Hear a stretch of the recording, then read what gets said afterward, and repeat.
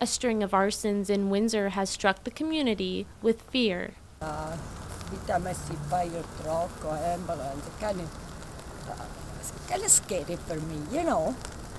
Tina, who did not want to give her last name, has lived in the 800 block of Lewis Avenue for 40 years, the same area where one of two garage fires set ablaze Halloween morning. A week prior, three fires were set within 90 minutes of each other. Two mattresses and a chair were lit up all between Gladstone and Marion Avenue. Constable Drouillard with the Windsor Police says those three arsons are related. Fires can be scary for people. Like I said from the beginning, like if it's even a nuisance fire, it can develop into something more serious. And when you have a string of them like this hap- like this happened, it gets people a little bit more uh, nervous.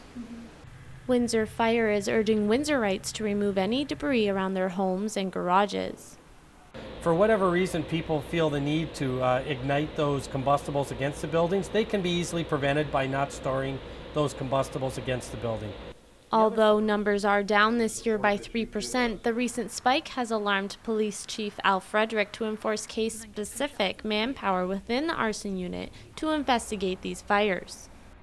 Well, we're, we're taking a real watchful eye over forensic evidence that may be left behind at the scene. Chief Frederick says they are following leads, but no suspects have been identified. Anyone with information pertaining to the arsons are encouraged to call Windsor Police or Crime Stoppers.